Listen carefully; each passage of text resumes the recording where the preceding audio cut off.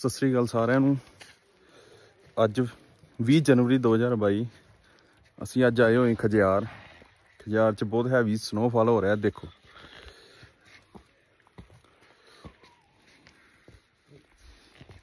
ਦੇਖੋ।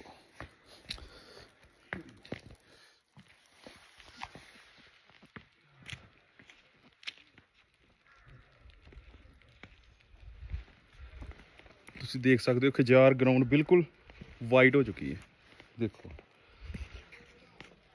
ਮਾਰਨਿੰਗ ਤੋਂ ਕੋਈ 2-3 ਵਜੇ ਤੋਂ ਮਾਰਨਿੰਗ ਤੋਂ ਸਨੋਫਾਲ ਹੋ ਰਿਹਾ ਹੈ। ਹੁਣ ਕੋਈ 10 ਵਜ ਚੁੱਕੇ ਆ। ਰੈਗੂਲਰ ਸਨੋਫਾਲ ਹੋ ਰਿਹਾ ਦੇਖੋ ਗਰਾਊਂਡ ਉੱਪਰ ਡੈਨਕੁੰਡ ਹੈ। ਡੈਨਕੁੰਡ ਦਾ ਰਸਤਾ ਤੋਂ ਪਹਿਲਾਂ ਹੀ ਬੰਦ ਹੈ।